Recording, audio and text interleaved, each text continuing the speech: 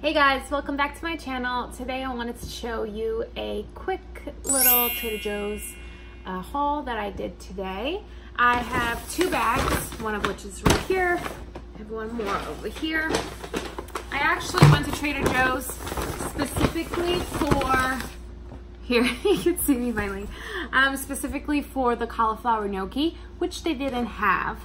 But of course, while you're there, you have to pick up other things that are delicious. So I will show you what I got in my quick haul.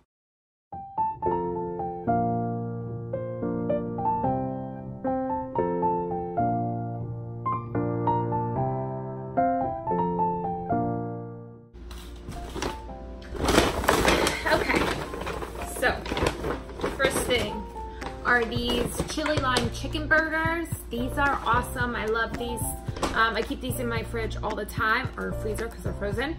Um, it's an easy meal. They're pretty clean too. It's just ground chicken, onions, bell pepper, garlic, cilantro, natural flavors, salt, lime juice concentrate, red pepper flakes. So the only questionable questionable ingredient here are the natural flavors. Um, but other than that, it's pretty good. It's 150 calories for one burger and um, they're really great. So I recommend these. Oh, I actually had these also. I couldn't help myself. I opened them while I was driving home. Um, these are the rolled corn tortilla chips, chili and lime flavor. To tell you the truth, I'm not a huge fan they're very, very flavorful. Um, it's just too much, I feel like. So, I don't know. But then I found myself eating them, so who knows how I feel, really. I don't even know why I bought them. I don't know. Sometimes you walk through Trader Joe's and you see something, you're like, oh, I want that, and you buy it. You get to the uh, cash register and you, you're spending a $100 when the only thing you went to go get is cauliflower gnocchi. Go figure. What else? Um, these, the cauliflower rice. I always have these in my freezer, at least two packages. Um, I just recently ran out. These are amazing. This is just cauliflower um, and salt. So, great stuff. I have a bunch of recipes also of how I prepare it on my channel, so go there. Since they did not have the cauliflower gnocchi that I wanted, I just got regular gnocchi. Uh, I'm not super happy about it, but today's recipe is with gnocchi, so I needed gnocchi. Uh, what else? Oh, I just got two apples, red apples. Nothing super exciting. I got the two Bulletproof Collagen Protein Bars. These are the, what is it, vanilla shortbread flavor. This is the only flavor that I like. Um, and the reason I get these is because sometimes um, at night I would like to have a little something sweet. And these are sweet and they do taste like shortbread. Um, but they're healthier for you than some cookies. So sometimes I'll take a little piece and I'll open one and then I'll take a little piece throughout the week or something. So I don't sit down and eat the whole thing all at once. Then I saw this apple cider jam and the ingredients sound pretty good too. Um, the first ingredient are diced apples which is fantastic because you know that whatever the first ingredient ingredient is in something, that means that there's the most of that in the product. So since I'm getting apple cider jam, you would hope that the first ingredient would be apples, and it is, so that's a good sign. Um, cane sugar, which not fantastic, but I mean, it's jam, so what am I expecting? Um, water, cider, lemon juice, fruit pectin, spices, malic acid. I don't know what fruit pectin is, um, but besides that, again, sounds pretty clean for a jam and something that's uh, processed. I actually need this for a little dessert that I'm gonna be making on Thursday, which I will show you the recipe as well.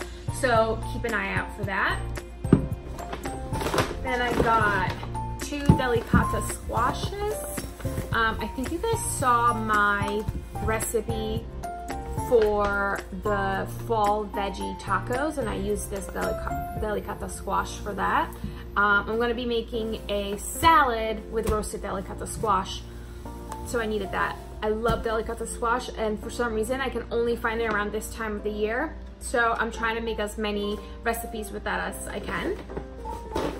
And then I also got some figs because I love figs. Figs are one of my favorite um, fruit and I feel like the season's almost over so I wanted to get it in. Maybe I'll also add them to a salad, who knows. Um, but I just like snacking at them like when I'm hungry. And let's see what's in here. Shrimp, frozen shrimp. I usually get these, this is $9.99, so it's a pretty good price. I don't understand why shrimp are so expensive. Um, it's kind of stupid and drives me nuts, but I like a nice shrimp uh, salad or um, tacos or anything like that. So I like to keep some shrimp in the freezer for like last minute recipes. Um, I got pastry dough. Again, this is for the dessert that I'm going to be making. So just to give you an idea, it's like a little apple tart. So it's this, you have to spread a jam on the tart on the pastry dough and then sliced apples. Um, and then you configure them and make them look like a little rose. They're really, really cute and they're super delicious and quick to make as well. So I will make a video for that so you can watch it. Um, but it's del delicious. What else? I got egg salad. This right here. This, my friends, is gold. Mwah. It's so good. Um, ingredients, not so good. Okay, a bunch of crap. I'm sure you could make your own egg salad at home much healthier with just eggs, um, salt, pepper, and some mayo, chives, or whatever you want to add. Um, and this has a whole list of ingredients. Look at all of this. I mean, egg salad shouldn't have a whole list of ingredients like this. But listen, this is so good. I can't help myself. I don't get it all the time, just sometimes. So hey, whatever. I like eating these with like a little cracker, a little pretzel. Um, I have these Wasa cracker things. Actually, let me show you. These. These are great. Um, and I will spread this on top of this and have a little snack midday. Really tasty. Close this cabinet. I'm almost done. I got two avocados. On Friday, I want to make turkey burgers with either like sliced avocado on top or um, guacamole. So I needed some extra avocados. So I got that. And I needed some more almond butter. So I got this creamy one. Love this one. Ingredients are fantastic. Raw almonds. Oh, and that's it. Huh, Look at that. Usually it's the nut and the salt. That's my go-to ingredients, but this is even better. And it tastes amazing. I add these to my smoothies. I just made banana muffins um, that are gluten-free, uh, dairy-free, and refined sugar-free. And I'm sure I have posted this recipe already, so look at my list of videos. Um, but I added this to it, which is why I ran out of um, butter and I needed to get a new one. Almost done, almost done. What is this? Yellow lentil and brown rice pasta. It's like spaghetti.